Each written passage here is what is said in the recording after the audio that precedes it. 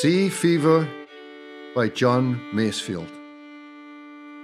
I must go down to the seas again, to the lonely sea and the sky. And all I ask is a tall ship and a star to steer her by. And the wheels kick and the wind song and the white sails shaking. And a grey mist on the sea's face and a grey dawn breaking.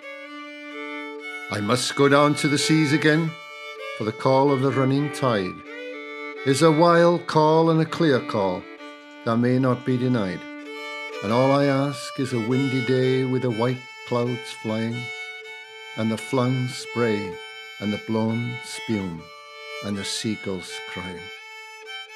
I must go down to the seas again to the vagrant gypsy life, to the gull's way and the whale's way, where the wind's like a whetted knife and all I ask is a merry yarn from a laughing fellow rover, and quiet sleep and sweet dream when the long trick's over.